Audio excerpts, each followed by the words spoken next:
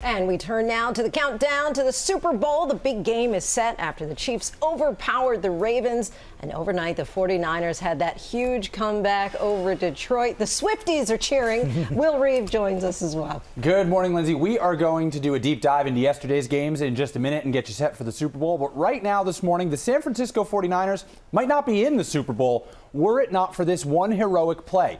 49ers defensive tackle Arik Armstead is the hero in question. The 49ers had just scored, but still had a ways to go for the comeback. The Lions holding on for dear life at this point.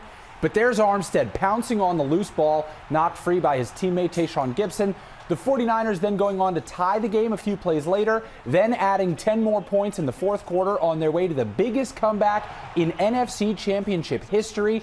How different it might have been had Armstead not grabbed that fumble and saved the 49ers season. It was Armstead's first ever fumble recovery in the playoffs. Couldn't have come at a better time. And coming up, Armstead will join us live right here. Tell us all about it. He will. All right, Will. Thanks yeah. so much.